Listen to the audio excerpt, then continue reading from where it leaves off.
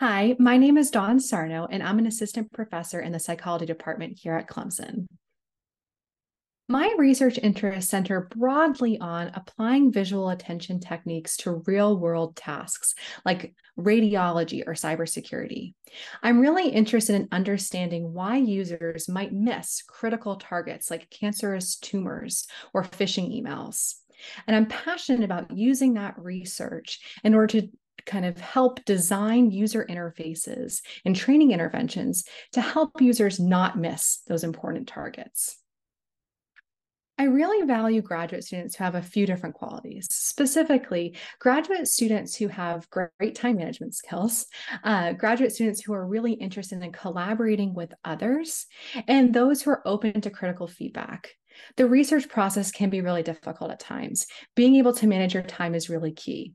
But also, whether it's that you're getting your first kind of review on a journal publication, you're getting really critical feedback from, you know, other people in the field, or you're trying to navigate a really challenging collaboration, you have to be excited about their research. You have to be willing to work with others and be open to that critical feedback in order to make your research better.